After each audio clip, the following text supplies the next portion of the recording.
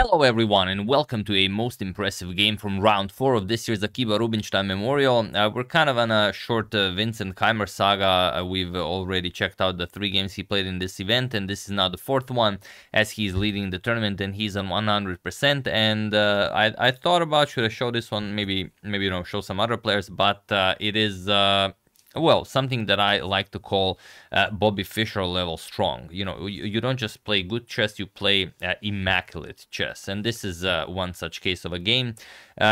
Maybe you guys will not agree, but you know this is uh, th this is uh, when it's hard to see where your opponent even made a mistake, if if it even is a mistake. Of course, we know that it is because we have access to powerful computers, uh, but to find um, uh, such uh, subtleties over the board is really mind-boggling. So let's check it out. Vincent uh, with the white pieces opens with pawn to d4. We have pawn to d5, c4, and uh, uh, accepts uh, the, the queen's gambit. So d captures on c4. We have knight to f3 and knight to f6. e3, we have e6, and bishop captures on c4. So fairly standard stuff here. We have bishop to c5, castles and pawn to a6. Now preparing to strike with pawn to b5, bishop back to e2, and now uh, there are well, quite a few games actually that reach this position. Knight to b, knight b to d7 is the uh, standard reply here. Uh, one such a game happened in 2017 in London Chess Classic between Magnus Carlsen and Fabiano Caruana, so it is played on uh, on the, even on the absolute top level. But here we have bishop to d7. There is a game where it has been played, but the game continued with pawn to b3. Here we have d captures and c5, and it is now as of move 8 that we have a completely new game. So okay, uh, we have knight to c6. Vladimir continues development uh, and pawn to a3. Of course, uh, knight uh, to c6 prevents pawn to b4, even though you would love to have that c5 pawn defended.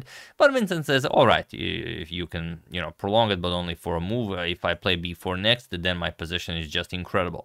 So bishop captures on c5 and pawn to b4. Going after the bishop, bishop back to e7 and bishop to b2. We have castles kingside and knight b to d2. So uh, pretty equalish position, both players with the bishop pair, both players with two pawns uh, on, on, the queen side.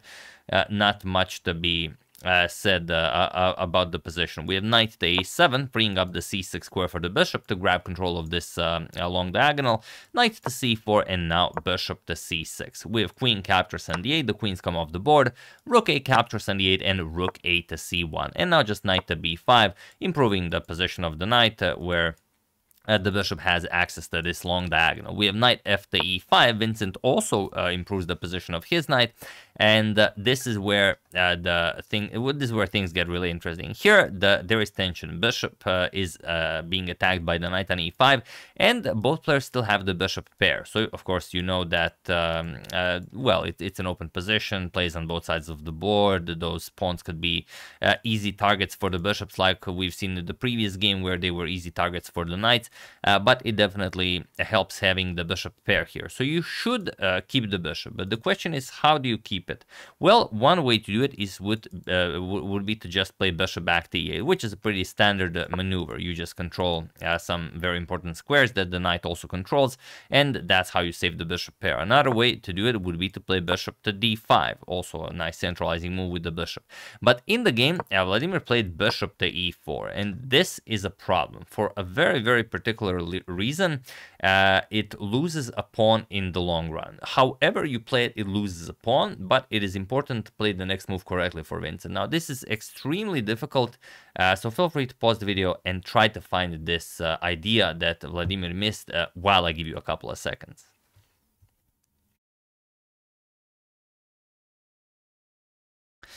So, uh, for those of you who were able to do it, congratulations on looking this far into the future. And for those of you who just want to enjoy the show, it is pawn to f3.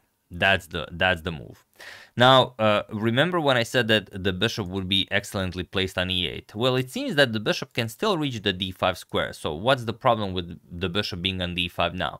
Well, the problem is that the pawn on f3 now creates support for pawn to e4. And if you play bishop to d5, then look at this. Knight comes to a5, and now what do you play with black? It's uh, very, very difficult to find the move. Even if you try to somehow create some counterplay, let's say knight e7, you go after the knight, e4 attacks the bishop, and you play knight captures on e5, white will just ignore you. White will play bishop captures on e5, and you still have to do something um, uh, about the bishop, and there's just uh, no good way to, um, uh, to, to, do anything with the bishop. Uh, if you move the bishop from the defense of the b7 pawn, then just knight captures on b7, and if you try to keep it there, well, you just play rook captures on c6. This is the move that um, that is, that is a problem. And now after captures and captures, you will win the material back and you will just have two versus one uh, on the queen side, which is, uh, well, maybe with engine perfect play, it can be held to a draw, but, uh, you know, for human standards, not so much. Now it's very, very hard to defend. You have to something.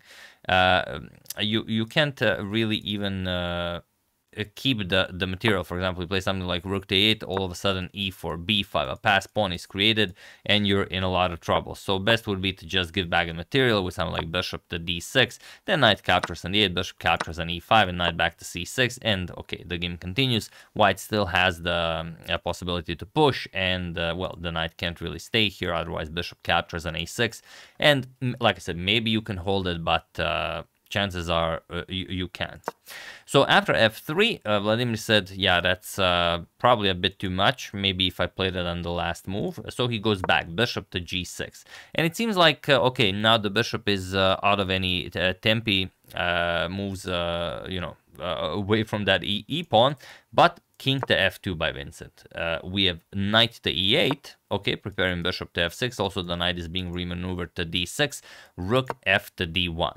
Okay, rook captures on d1, doesn't look like much. We have rook captures, knight e to d6, sorry, um, uh, bishop captures on d1 was played. Rook captures was also a possibility. Vincent has other plans for the bishop. Knight e to d6 and now knight to a5. So attacking the b7 pawn, but okay, for the moment the knight is defending it. Bishop to f6 and now pawn to a4, chasing away the knight. Knight back to a7 and now bishop to b3.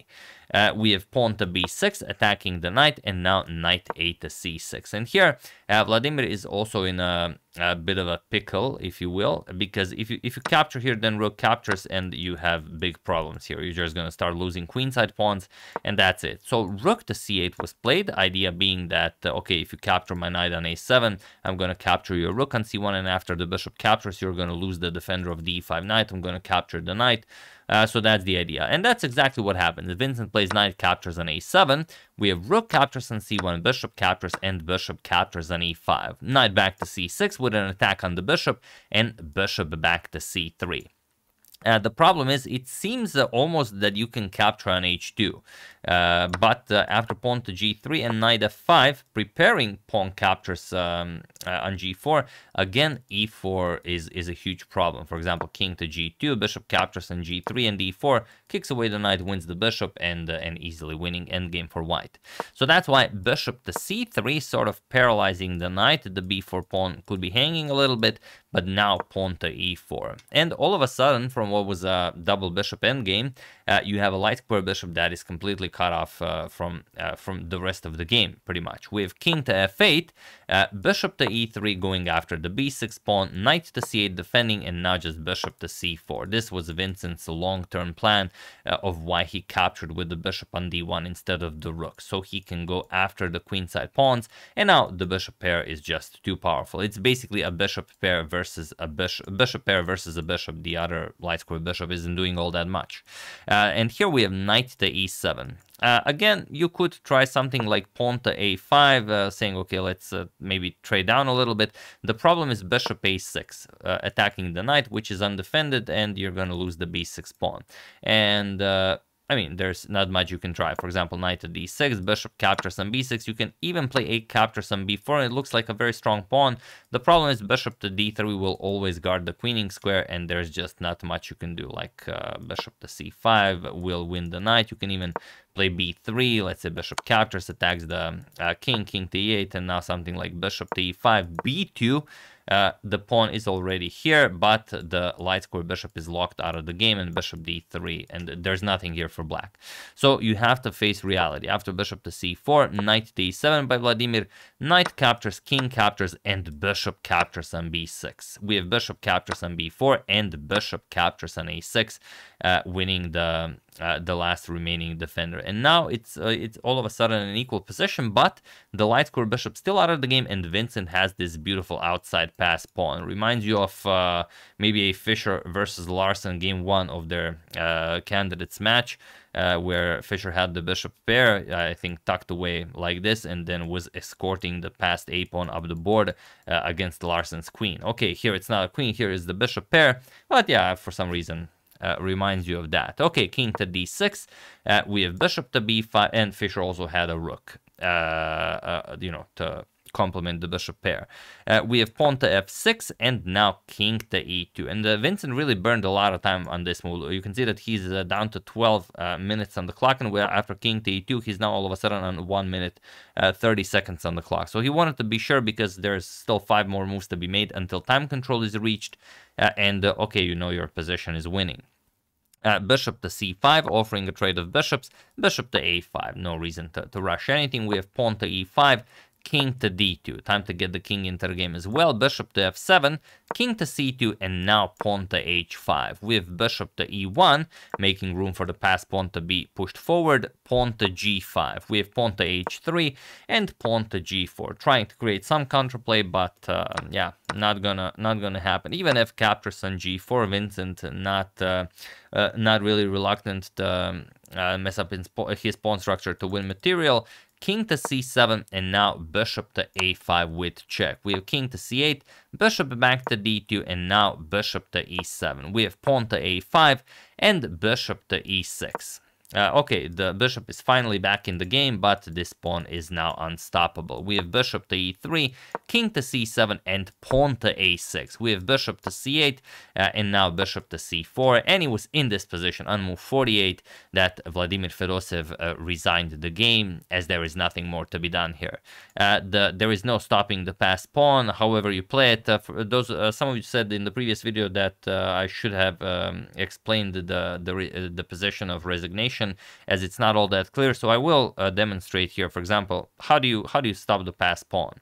Uh, obviously, you have to control the a8 square somehow. Well, let's say you play king to b8, uh, pawn to a7 with check, king to a8, and now bishop to d5. There, there's no way to control the d5 square uh, that the light square bishop will use. That's the problem. And even if you play something like bishop to b7, uh, you can even trade captures, captures, and now you just start marching your king up the board. There is no defense against that. If the king moves, you promote the pawn, and if something like bishop uh, here, you just play bishop to c5, you take away the e7 square from the bishop. Now the bishop cannot move, otherwise you just play bishop e7 and you collect all of the pawns.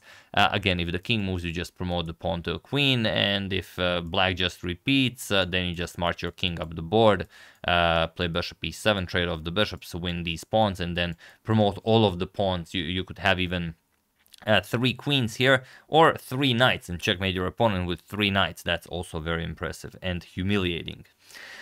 Uh, so yeah, uh, very nicely done by Vincent. He's on 4 out of 4 and he will face Radoslav Wojtaszek in the next uh, game. So looking forward to that one in this short uh, Vincent saga. Uh, he is now up uh, 18 points this month and he is up to 27-37. So some 15 points shy away from the top 10. We'll see if he can continue this as he is really on a roll here. Uh, so yeah, that's the game. Hope you guys enjoyed it. Uh, I would like to thank Michael Bowers, uh, Carmen Polifronio, Robert Stedelman, um, Jack Mehoff, and GroznyChessFestival.org.gg for your contribution to my channel. Thank you a lot. I really appreciate it. As usual, you can check two of my previous videos here. Thank you for watching, and I will see you soon, continuing to check up on your wonderful suggestions uh, and whatever else happens in the chess world. Uh, so thank you all. I will see you soon, and have an excellent rest of your day.